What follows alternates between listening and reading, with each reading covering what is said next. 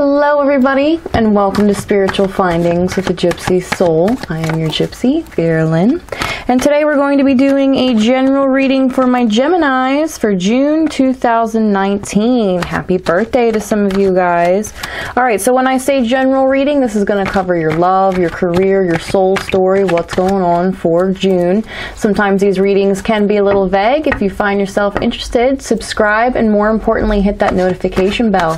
I do live streams streams every once in a while, guys, and I offer free readings on there, so you might want to go ahead and ring that notification bell because it is first come, first serve when I do live streams, okay? So go ahead and get on over and get yourself on the list. I also do paid readings too via live stream for some of you guys that are looking for more in-depth readings.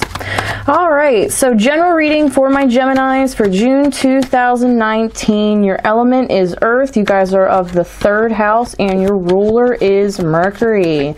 Mercury goes retrograde in July, but we will talk about that in July's reading. So let's just focus on June.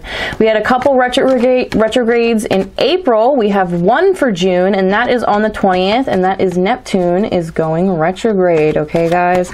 These retrogrades can bring a little bit of chaos, but don't worry, you know, chaos does bring change. Sometimes we need a little motivation to get out of our comfort zones and start some new things, new relationships, new career path, maybe even an education change, okay? All right, so let's see here. I'm reading right now from the Rider Waite deck. I'll be pulling one from the angels or one from the fairies. We will see where my intuition leads me after this reading. I'm kind of feeling maybe one from one from both the angels and the fairies for you guys. Okay. So let's see.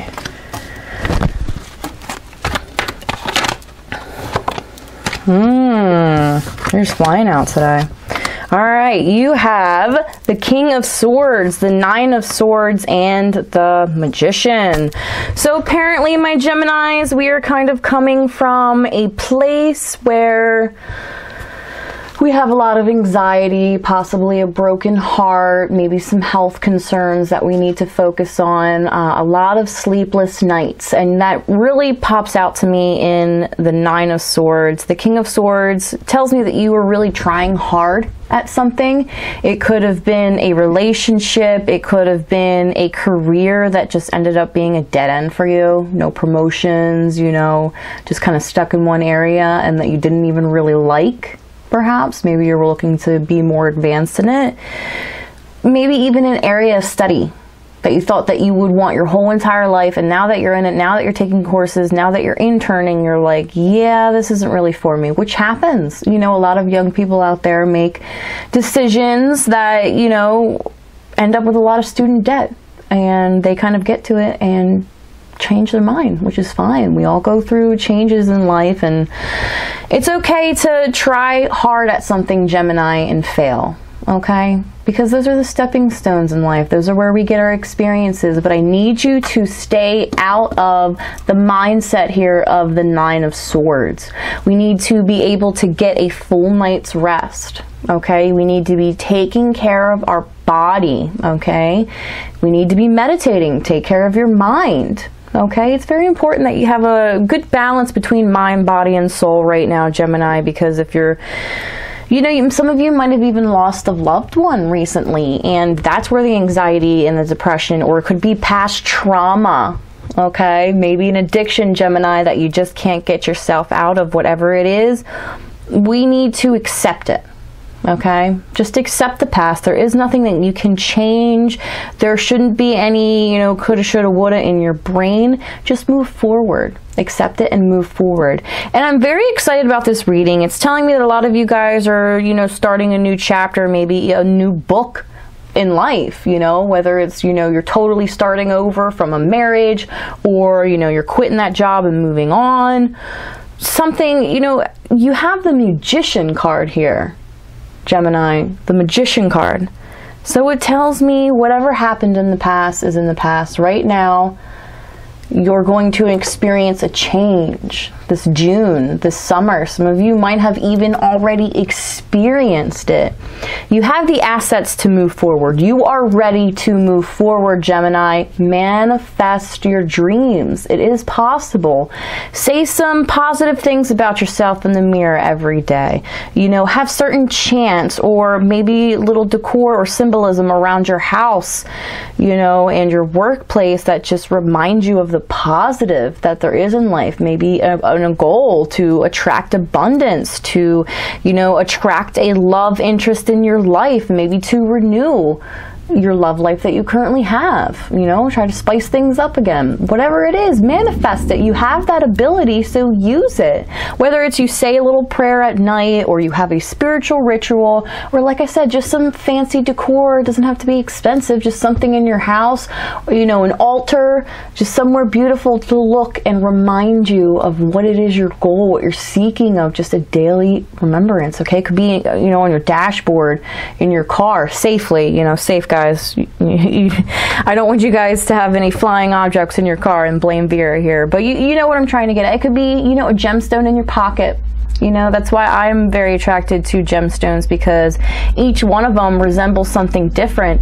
And if you need, if you're missing something in your life, kind of bringing that stone in, whether, you know, you do believe in the power of crystals or whatever, it actually is just a daily remembrance. Okay? All right, Gemini. So, you are going to be magical for some of you. I know some of you had a birthday in May, but June is looking like you're kind of getting over the hump of the the emotional roller coaster that you have been on for the past couple months, couple years for some of you guys. Um, and and we're getting we're getting to it. We're getting our power back, Gemini's, and I'm very excited for that. The Magician card is probably my most favorite card.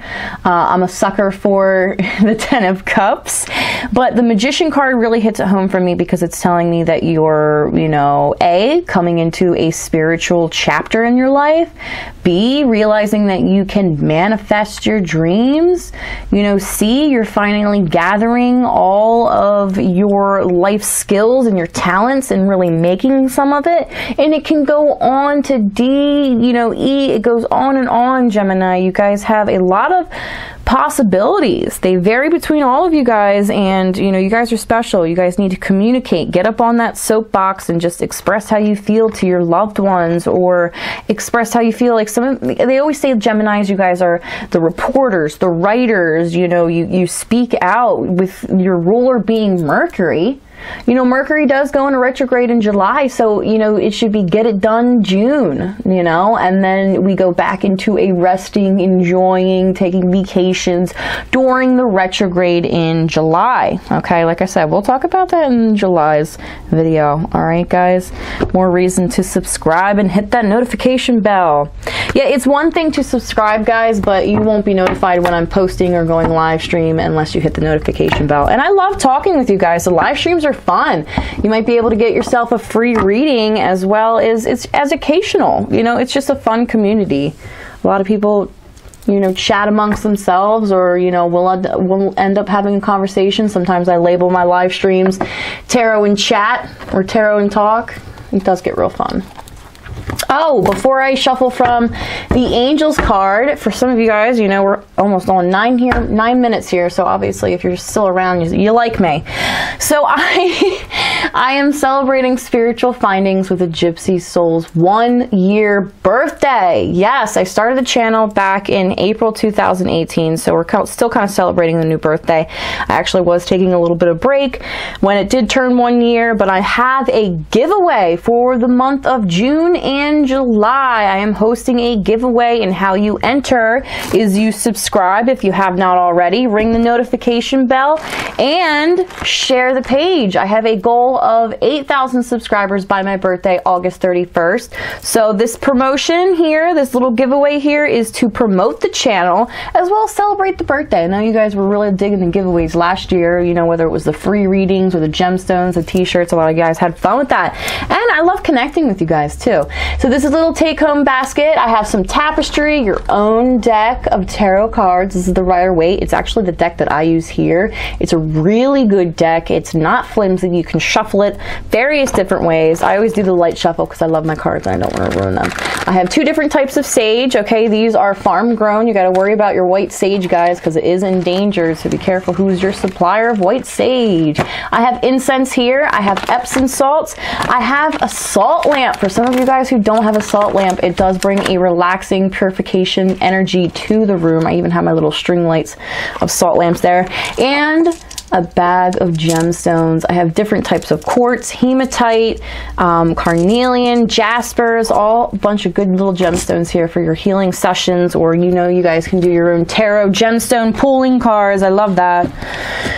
No, I shouldn't say cards. You kind of just like shuffle up the gemstones in a bag and pull them out and you know, whatever that gemstone reflects you need in your life. They also sell tarot decks. Um, in my holistic holistic expo video that I posted a couple before this, I got my own gemstone reading done. It's really cute, and um, it's pretty much a deck of cards that have a whole, whole bunch of different gemstones in it, and it tells you what you're kind of needing in life.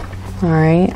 Okay, so this is our reading from the Rider Waite. I'm going to pull one from the angels, and I'm not quite sure of the angel, um, the fairies yet. I'm going to pull from the fairies, but we'll see. We'll see what my intuition says. But right now, we are pulling for my Geminis for June 2019. All right, let's see here.